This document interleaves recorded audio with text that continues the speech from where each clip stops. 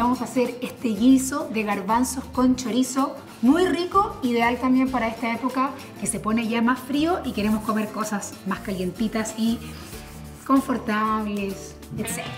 Vamos a encender la olla y lo que voy a hacer mientras esta toma temperatura es que voy a picar cebolla, tengo ajo que ya está picado y la vamos después a dorar en el sartén con aceite de oliva y el ajo.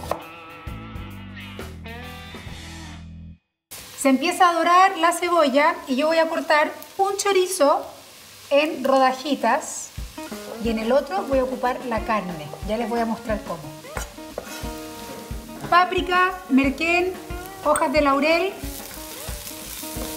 los chorizos enteros, o sea, en trozos, y luego los que estoy acá sacando la carne para que vayan en trocitos desmenuzados.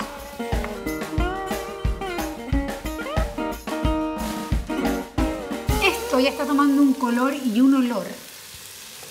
Es imposible que no sea rico. Es imposible que no... Matemáticamente es imposible que no sea rico. Vamos a agregar papas en cubos, tomates picados y salsa de tomate.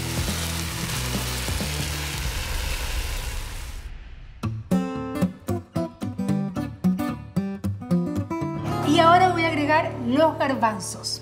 Yo soy una enamorada de las legumbres y los garbanzos me encantan por su versatilidad.